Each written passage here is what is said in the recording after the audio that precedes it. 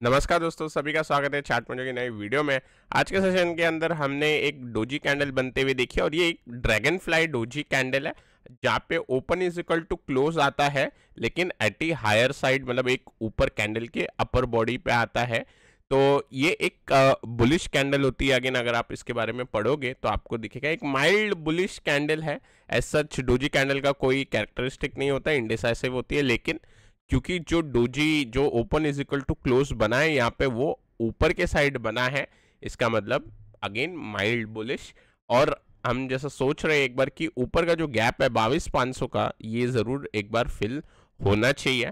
तो देखते हैं अभी नेक्स्ट एक दो सेशन के अंदर टिल एक्सपायरी तक शायद ये गैप फिल हो जाए।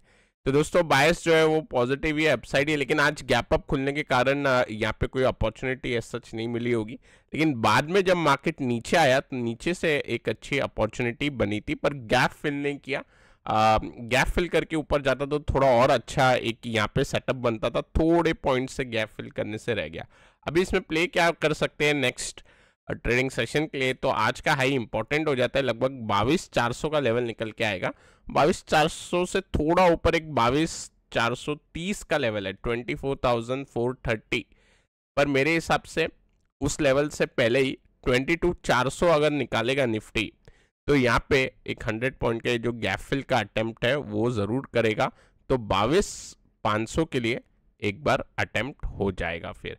नीचे के साइड का जैसे कल मैं बता रहा था, नीचे के साइड ज़्यादा ध्यान नहीं दे रहे आप, क्योंकि ये जो पैनिक के अंदर जो फॉल देखी गई, वो ऑलमोस्ट पूरी हो चुकी है, ऐसा लग रहा है। अभी और कोई अनाउंसमेंट या और कोई वर्ड रिगार्डिंग न्यूज़ फ्लो भी नहीं आ रहे। तो नीचे के साइड पे फ़िलहाल फोकस नहीं करेंगे। बैंक निफ्टी की बात करते हैं। बैंक निफ्टी का मैं यहाँ पे चार्ट लगा देता हूँ। तो बैंक निफ्टी के ऊपर गैप अप ओपनिंग के बाद, इसका जो गैप अप का लेवल था तो आप देख सकते हो यहाँ पे जो open is equal to high बना हुआ है। Open is equal to high है। इसका मतलब ये है कि जिस लेवल पे खुला वहाँ से थोड़ी यहाँ में सेलिंग देखने मिली और इसमें गैप फिल हो गया बैंक निफ्टी में। ऑलमोस्ट मतलब थोड़ा सा एक दो पॉइंट से रह गया होगा। बट इसके अंदर गैप फिल हो गया।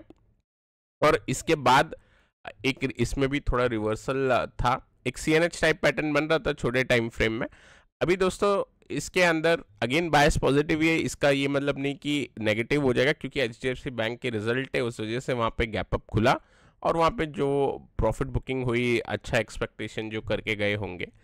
ओवरऑल देखा जाए तो ये भी बुलिश ही रहेगा, और यहाँ पे अभी भी गैप फिल की अपॉर्चुनिटी है फोर्टी एट थाउज़ेंड छः सौ तक की।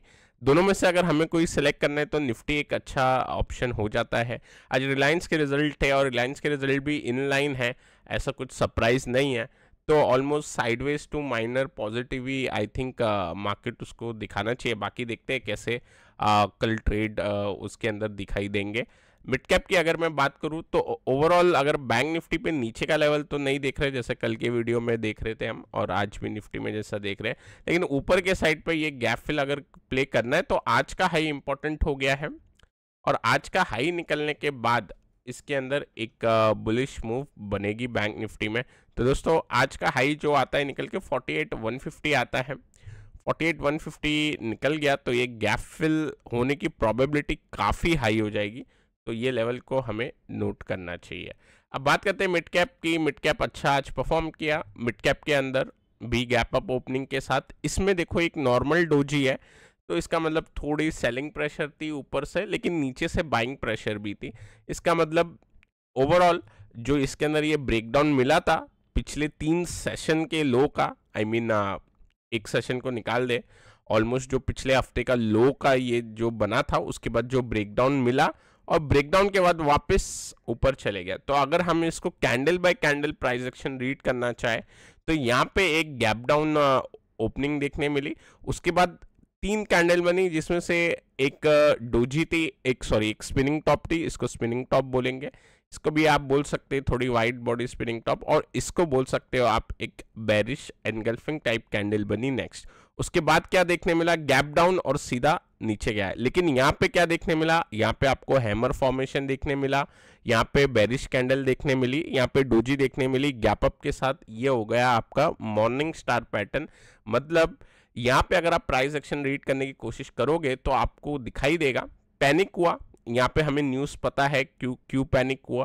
पैनिक होने के बाद मार्केट ने सस्टेन किया। लास्ट वाला जो ये कैंडल था, वो टाइम पे थोड़ी सीरियस न्यूज़ थी, पर वो भी उसके बाद कोई एस्केलेशन हुआ नहीं। और उसके बाद अभी फिर गैप अप के साथ ओपनिंग मिली। इसका मतलब क्लियर कट ये है, यहाँ पे मॉर्निंग स्टार जो बन रहा है, वो एक काफ़ी बुलिस सेटअप की ओर इशारा कर रहा है।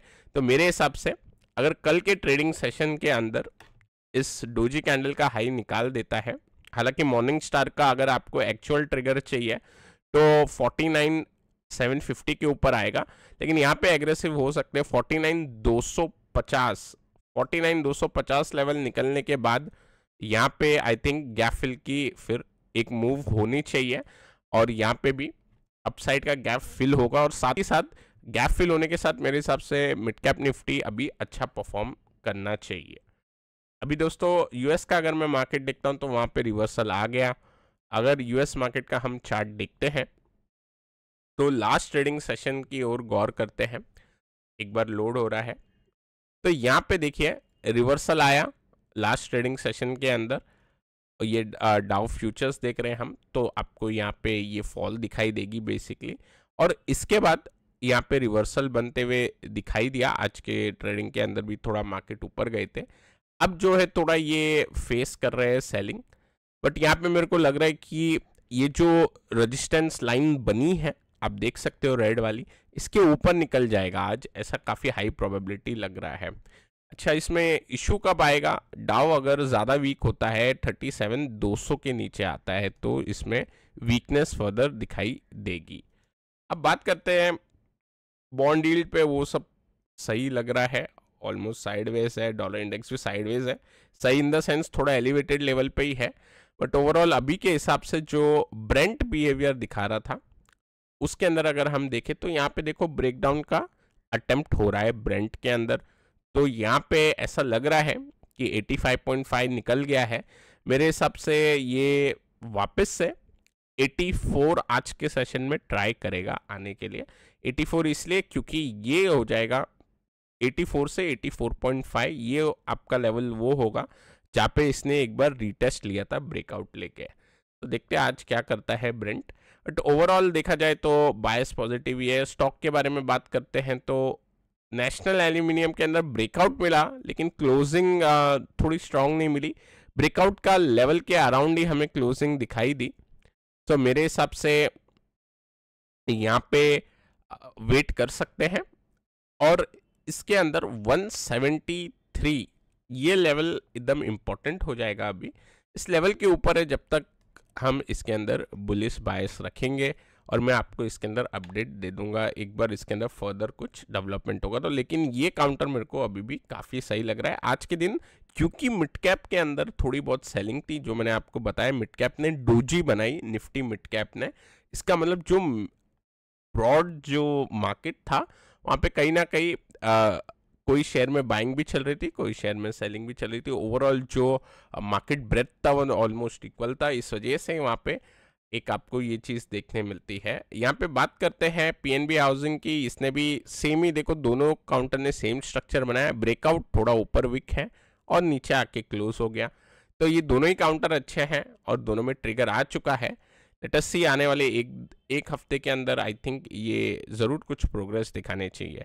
अब नेक्स्ट ट्रेडिंग सेशन के लिए दो चार्ट स्टडी दिखाई देती है, उसमें से जी अगर जीएसएफसी की बात करें, गुजरात स्टेट फर्टिलाइज़र काफ़ी एक अच्छा कप एंड हैंडल पैटर्न बनाया है इसने। तो मेरे को ये चार्ट काफ़ी अच्छा लगा। आज के सेशन के अंदर वॉल्यूम भी अच्छी है, अगर हम देखें वॉल्यूम पे तो ऑलमोस्ट आप समझिए टू एक्स या one point five X of the volume है पिछले छः सात दिनों की। अभी इसके अंदर इंपॉर्टेंट लेवल क्या होंगे? अब काउंटर है नियर अबाउट टू फोर्टी मेरे हिसाब से इंपॉर्टेंट लेवल जो आपका निकल के आएगा वो टू फिफ्टी का आएगा।